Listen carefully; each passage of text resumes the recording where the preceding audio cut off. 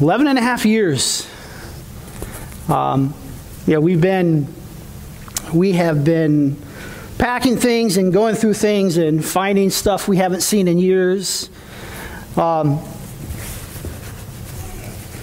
I was packing up my office, and you know, one year for my birthday, Missy posted a bunch of post-its around the office, and some were hidden, so I didn't find them all on that day. And so randomly, I'll open something or I'll turn something over and I'll find a, a sticky note with the message. And I took down my clock on the wall. I had no reason to remove my clock for a long time. Um, but I took my clock off the wall, and there was a sticky note on the back of it that was written in February of 2017. And it says something to the effect of, So you're rearranging, or maybe we're even moving. And if we are, just know that I'm with you, and whatever the Lord has for us, we're together. And so that was one of those moments, you know, that was written five years ago. And so I found a lot of them, and that's the only one I didn't find until just recently. This was like God saved that one for that moment so I would know that He already knows. You know, He knew long ago what He was going to do and when He was going to do it. I also came across a lot of things that, um, you know, I'm just sitting at my desk and, and, crying a lot this week. So, um, you know, more than I ever have before. I keep all the cards that people have given me, uh, unless they're bad notes and I throw those away. But I keep all the good ones. Uh, and fortunately, I had a pretty big stack of cards and notes um, over the past 11 years. And so I kept all those. I still have them. I packed them in a box because I still want to go through those when I'm having bad days. I, they, they used to sit right to my left of my desk, and I would just pull them out, read a few, and say, okay, people don't hate me. It's okay. And, you know, I would tear up my resignation letter. And um, no, I never did that. But I did read those cards and those notes several times. So I'm packing stuff and I'm going through it because, you know, I don't want to take stuff I don't need, so I'm throwing stuff away. I'm taking stuff to the Hope Chest. And, and I came across, a few days ago, I came across uh, two things. I came across a journal. Uh, I've got a lot of journals, but I came across a journal, and the very first entry in the journal uh, was July 30th, 2011. That was the day before I officially candidated at this church.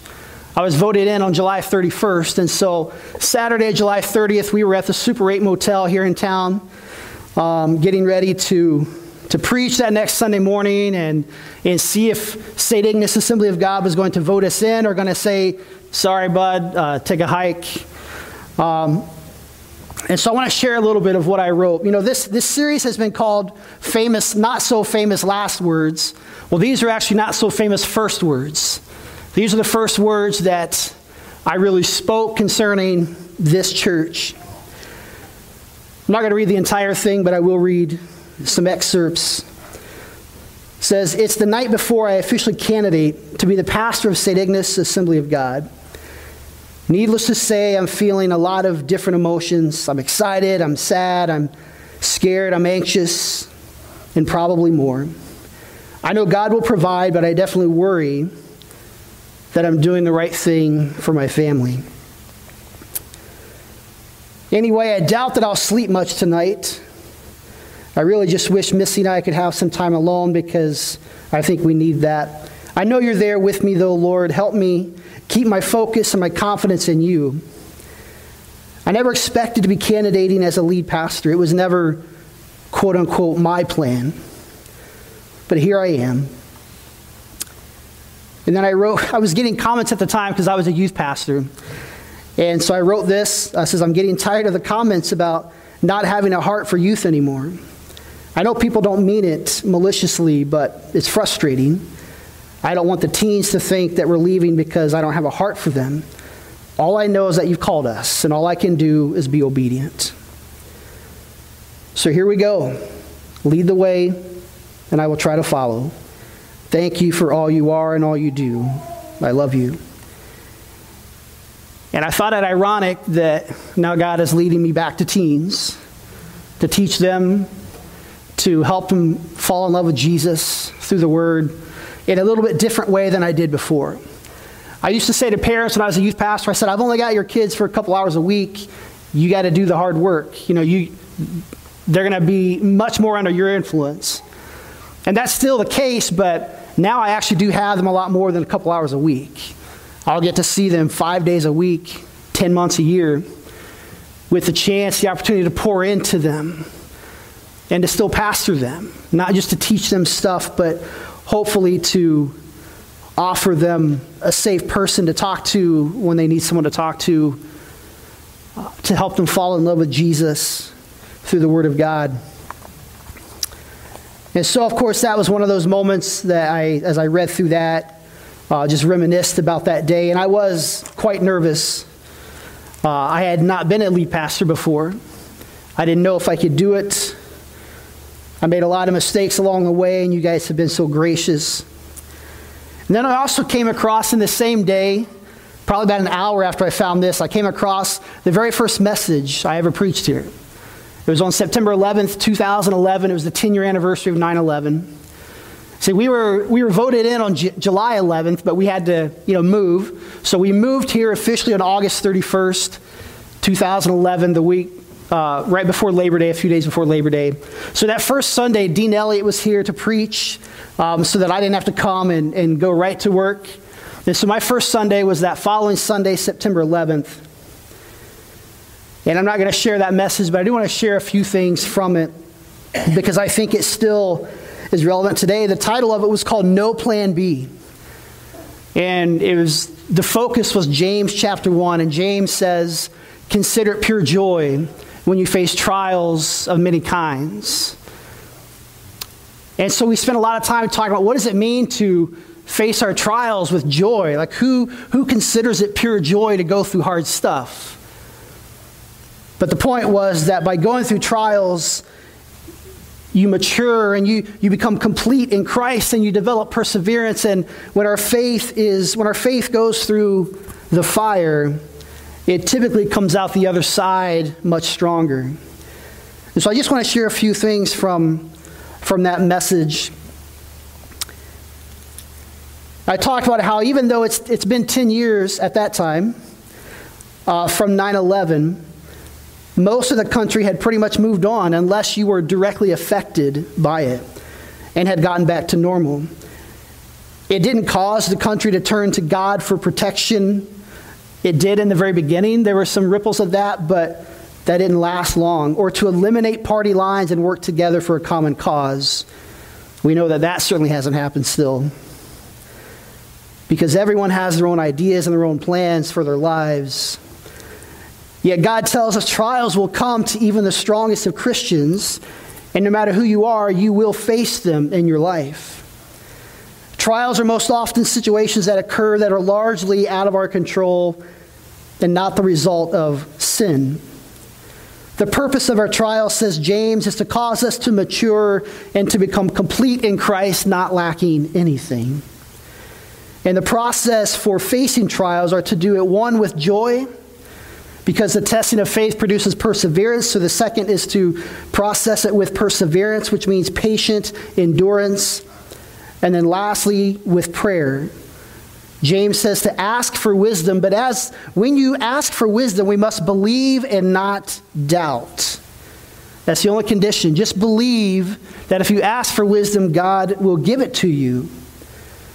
And James goes on to say he'll give it generously to all who ask without reserve, and he will give without condemnation. He will give without finding fault, as long as we believe and don't doubt. Because when we act according to the flesh, not waiting for God's direction or God's answer, it's a sign that we're doubting that God will give us what we need, when we need it, and how we need it. I thought that was a pretty good message. That was the first one I preached here. And today's isn't a lot different as far as the, the tone of the message and the last thing that, that I want to say to you. Just a quick recap in this series, not so famous last words. The first week it was choose this day. We looked at the story of the Israelites sending the spies to the promised land, and most of them did not choose to believe God, to trust God. And Moses' generation missed out on the promised land. except for Caleb and Joshua, and Joshua became the one to lead them. But it was choose this day to trust God's promises, to stand with your leaders the way Caleb and Joshua did, and to serve the Lord. Right? Joshua's some of his final words choose this day whom you will serve. And we brought out this stone as a covenant, the same one that we all signed, many of us signed about 10 years ago when we had a vision of a new building. And now many of you have signed it again as a sign that you're trusting for your next pastor, that you're going to stand with them in whatever God has for the next season for Lighthouse Assembly. The second week, it was Open Your Eyes. We looked at the story of Elisha, and the king of Aram wants to come and, and attack Israel. And the servant of Elisha is looking and he says, Master, there, there are so many of them. There's horses and chariots and armies. And Elisha says, There are more with us than are with them. And then Elisha said to the Lord, Please open my servant's eyes. And his eyes were open, and he saw in the heavenly realm, in the spiritual realm, he saw the angels, the spiritual armies, the heavenly armies surrounding Elisha. And so it was open your eyes to see that God is with you. And even when you can't always see it, just know in your heart and in your mind that God is with you because he promises us that. Open your eyes to see the blindness of others. Right, Elisha, he went to that enemy army and, and he prayed that the Lord would blind their eyes, and he did. And Elisha leads them right into the heart of Israel, right in front of the king of Israel. They open, their eyes are opened, and it's like, oh, crap. We're in front of the king of Israel. They're probably expecting to be attacked. And the king of Israel even says, Father, he's talking to Elisha, Father, can we, can we kill them? Should we kill them? And Elisha says, No. Instead, we're going to feed them. We're going to give them a great feast and then send them back. And there was peace among those, those two countries for an extended period of time. So it was open your eyes to see that God is with you, open your eyes to see that others around us are blind, and open your eyes to the ways of the kingdom. Right? When Elisha told them, No, we're not going to kill them, we're going to feed them and send them back. And then last week, the, the, the not so famous last words were to be one as the Father and Jesus are one. We looked at Jesus' prayer in John chapter 17. And he repeated this phrase, Lord, Father, let them be one as you in, or you are in me and I am in you. Let them be one as we are one. He said that multiple times. So be one as the Father and Jesus are one in speech, in action, and in heart. And I shared a brief illustration about that phrase, not one iota's difference. And those two, those two Greek words, homoousios and homoousios. Homoiousios means of similar substance. There was this there was this debate. There were those who believed that Jesus was created by Father God, that he was not God and did not exist forever. And so that word homoiousios with that, with that I, that iota, it changed the meaning of who Jesus was significantly. Jesus isn't of similar substance, he is of the same substance. He is God. And so the Nicene Creed came to be, and, and most, right, the foundation of Christianity is that, that Jesus is God. But I made this statement I said, We are of similar substance to God. Right? We are created in his image, but we are not God. But we are of the same substance as one another. And so we are called by God to be one, just as the Father and the Son are one. We are called to this unity as the church, not as the Assembly of God church or as the Catholic church, but as the church, big C. And that's something that is severely lacking in our culture today. Well, today, if I can get through it, the message is called It is Finished. Simple, it is finished. Comes out of John chapter 19 and verse 25. We'll get there in just a second. Would someone like to, uh, one last time, pray an anointing prayer over me before I speak? Thank you, Dan.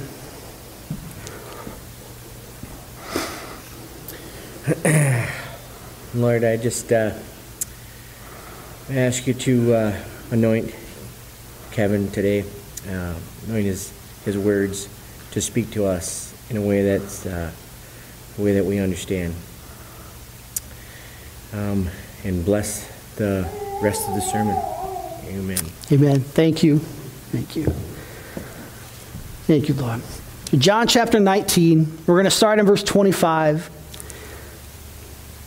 We are at the crucifixion of Jesus, or just before his death.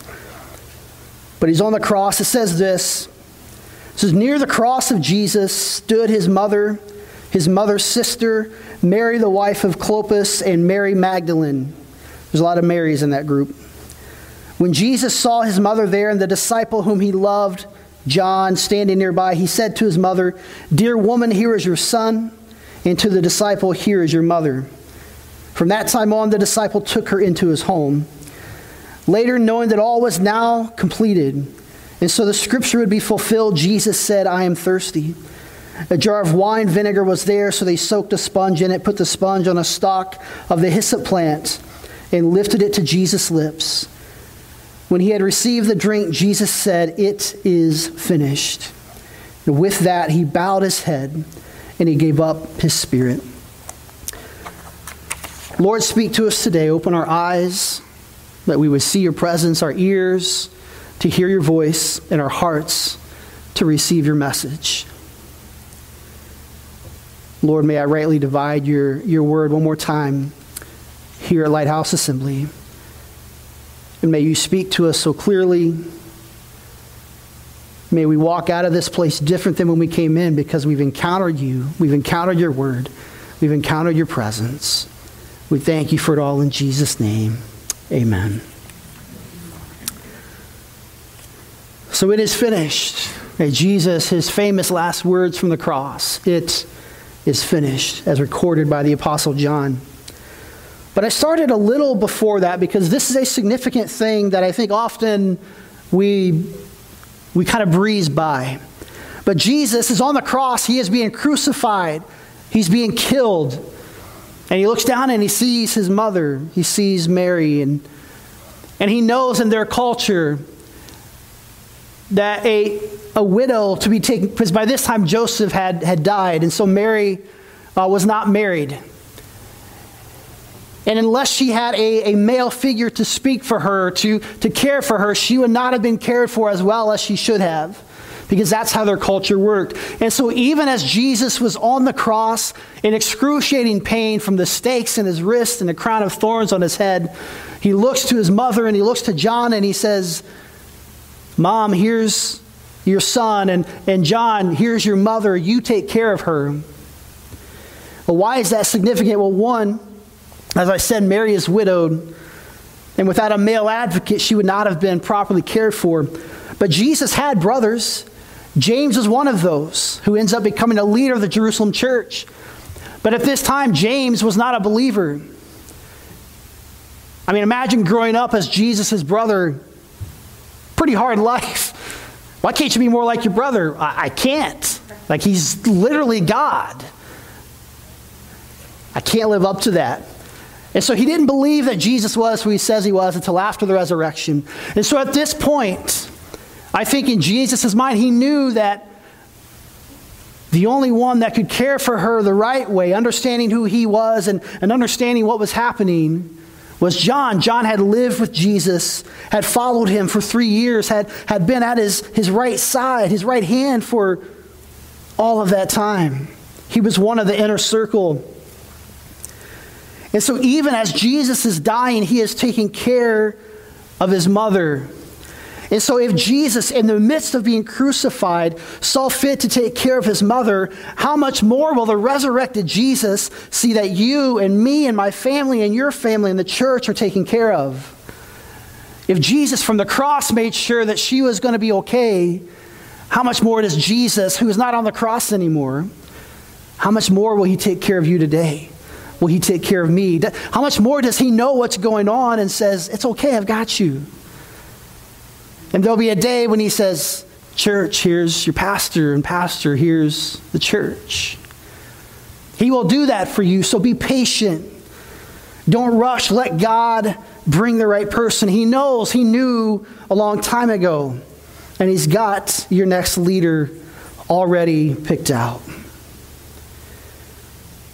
And so he cares for his mom in these last moments, and then he, he knows that everything is done. He knows he's fulfilled his calling. And he says those three words, and they're, they're, it's not even an exclamation, it's just very kind of matter of fact. Said, It is finished. And he bowed his head and he gave up his spirit, and his earthly body gave up its life until it returned a few days later in the resurrection. But what you have to understand is in Greek culture, whenever somebody owed someone else a debt, they would draw up this certificate, this certificate of debt to say what the debt was, how much was owed. But whenever that debt was finally paid in full, they would essentially write this word on it, teleo. Teleo. It's a legal term that basically means paid in full. Teleo. Debt is paid in full.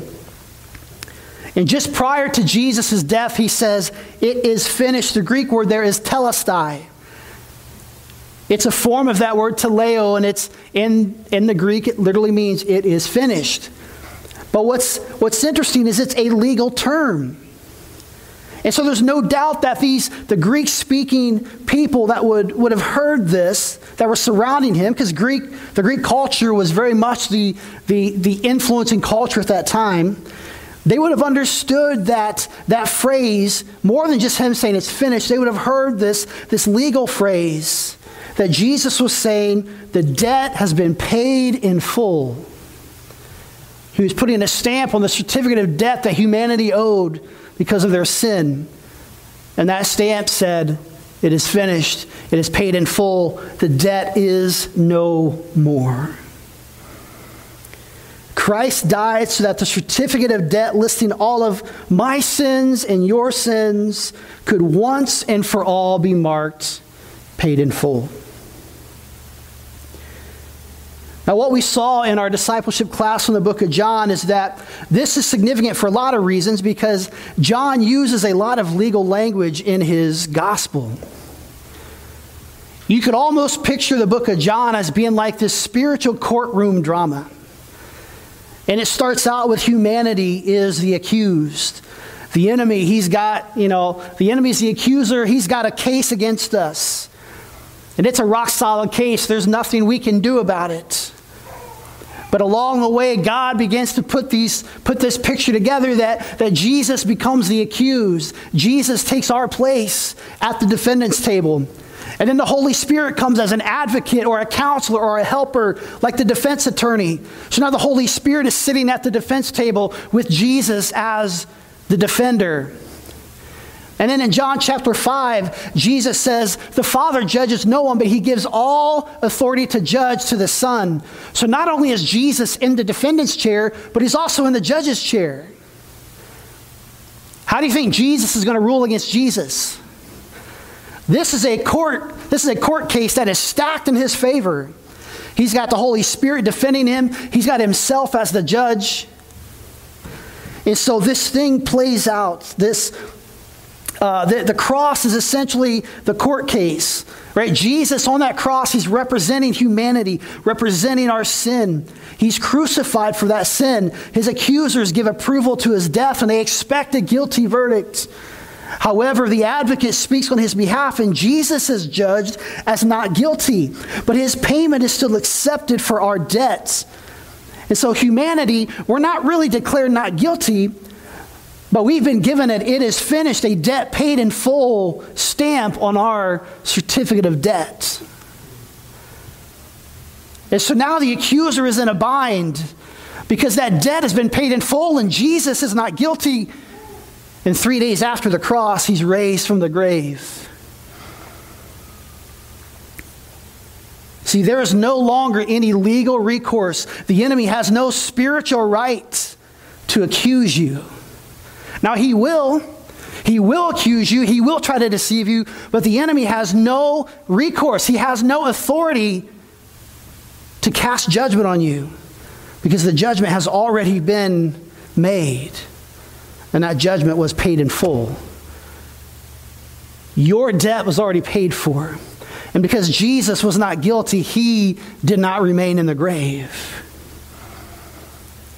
See, what's interesting is if you back up into chapter 18, this is where Jesus goes before Pontius Pilate. The chief priests, the, the leaders of you know, the Pharisees, they, they bring Jesus to the Roman governor, Pilate.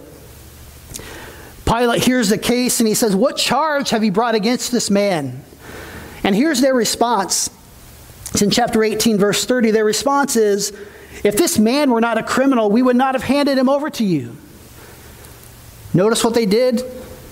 They don't have a charge. Like, what are you charging him with? Well, if he wasn't a criminal, we wouldn't give him to you. It's like, no, that wasn't the question. What's the charge? They couldn't answer because they didn't have anything to charge him with. There was nothing Jesus had done that earned him an arrest and certainly did not earn him a crucifixion. And then it goes on further. Pontius Pilate says to them, Why don't you take him and judge him according to your laws? And this is what they say We have no legal right to execute anyone. They had no legal recourse to accuse Jesus or to execute him. And so they wanted someone else to do their dirty work.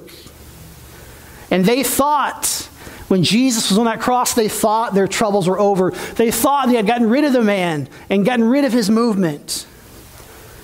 And really, all that happened was it sparked the greatest movement this world has ever seen. A small group of, of young men believed that Jesus was who he said he was. And now millions upon millions of people across this world profess Christ as Savior because of that one moment. The court case is severely stacked in your favor. The enemy has no legal recourse. He has no authority. Now he will accuse you. And when we get when we're not in our right mind, when we start to believe those lies, and then we start to take a punishment that we are not meant to take. We start to bring, bring condemnation on ourselves that Jesus says, I, I don't give this to you. Right, what's Paul say in Romans? Therefore, there is now no condemnation for those who are in Christ Jesus. So, yes, the enemy will accuse you, he will try to deceive you, but much like those Jews had no legal recourse humans through faith in Christ will be justified. How do we know? Because of the resurrection. Jesus is the first fruits. The resurrection is the evidence of justice. Jesus was resurrected because he did not deserve death. And so, too, he says, will all of humanity that trust in him, that believes in him, they will be resurrected because your debt has already been paid for.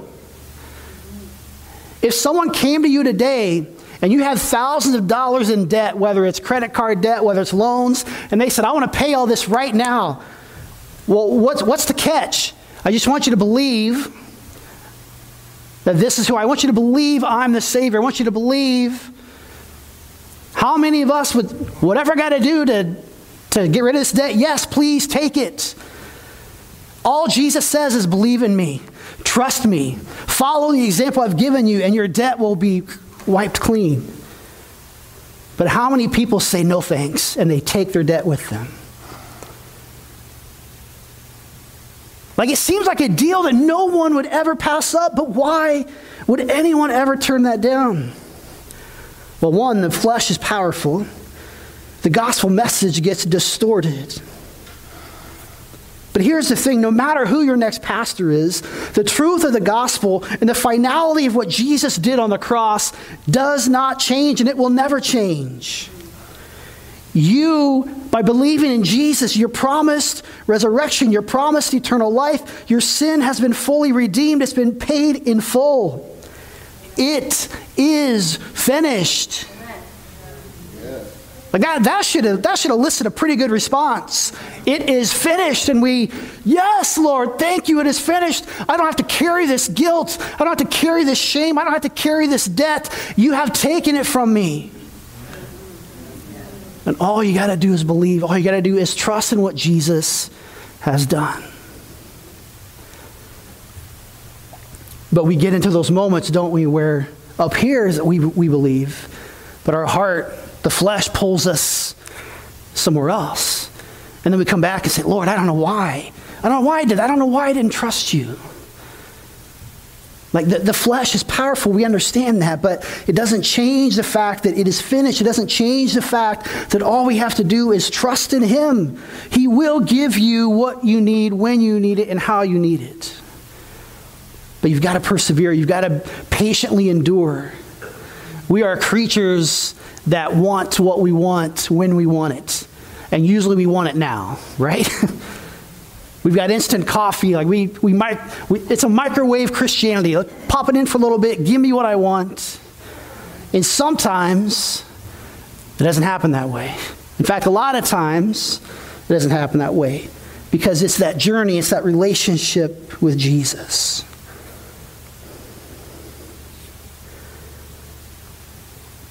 I just have two things I want to do. I want to pray for you and right now, I just want to thank you. I put this note on the back, or had Aaron put this note on the back of the bulletins, just in case I couldn't get through it. How do you sum up 11 and a half years with a group of people that you love? With a group of people that you've walked through hard things together. You've, you've experienced joys, you've experienced victories, you've experienced some hard things. How do you sum up 11 and a half years. Uh, you can't, really. You certainly can't do it on, in a few minutes on a Sunday morning. But here's the best I can do for now.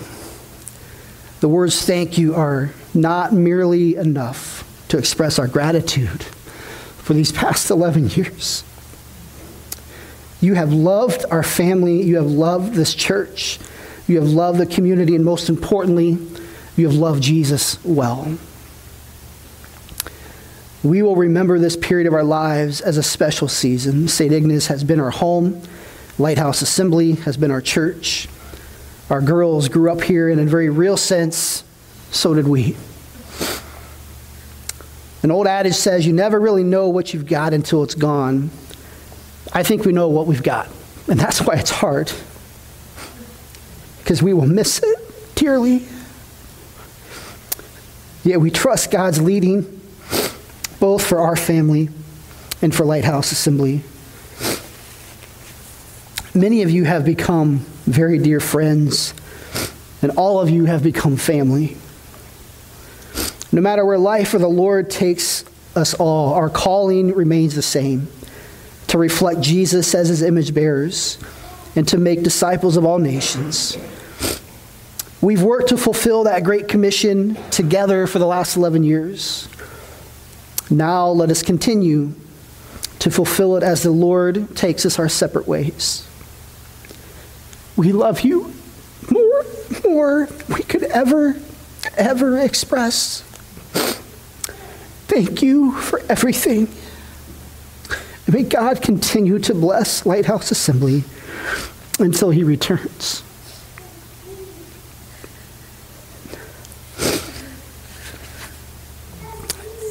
And so, if I could one more time bless you, could I ask you to stand just for a moment? If that's too hard for you, that's fine. You can stay seated. I want to steal the Apostle Paul's prayer for the Ephesians because I don't know any better words than the words that Paul said. And so I pray this for you. For this, re- for this reason, I have knelt before the Father time and time again, from whom every family in heaven and on earth derives its name. I pray that out of his glorious riches, that he may strengthen you with power through his Spirit in your inner being, so that Christ may dwell in your hearts through faith. And I pray that you, being rooted and established in love, may have power together with all of the Lord's holy people to grasp how wide and long and high, and high and deep is the love of Christ, and to know this love that surpasses knowledge, that you may be filled to the measure of all the fullness of God. Now, to him who is able to do immeasurably more than all we ask or imagine, according to his power that is at work within us, to him be the glory in the church and in Christ Jesus throughout all generations, for Lighthouse Assembly and all of its generations, forever and ever. And everyone said, Amen. It is finished. Thank you. Thank you.